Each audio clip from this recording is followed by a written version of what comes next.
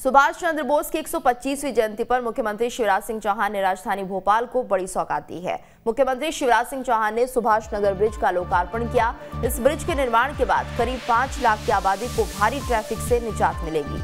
Bridge के लोकार्पण के साथ ही सीएम ने सुभाष चंद्र बोस की प्रतिमा का अनावरण भी किया। इस दौरान आज़ाद हिंद फौज के कॉन्सेप्ट पार्क का भूमि पूजन किया गया।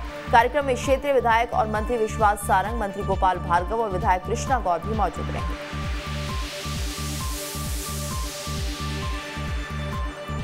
और वैसे ही मध्य प्रदेश बना रहे उसने गोपाल जी अभी बता रहे थे।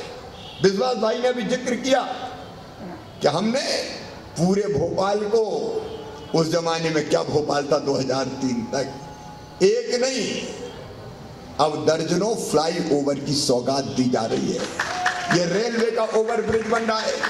हम लोगों ने कभी कहा था flyover city Bhopal metro city Bhopal. अब मेट्रो आप बनते हुए देख रहे हैं। IT city Bhopal, heritage city Bhopal, green city Bhopal, clean city Bhopal Bhopal को नए स्वरूप में उभार के पूरे हिंदुस्तान में स्थापित करने का काम आपके सहयोग से किया जाए।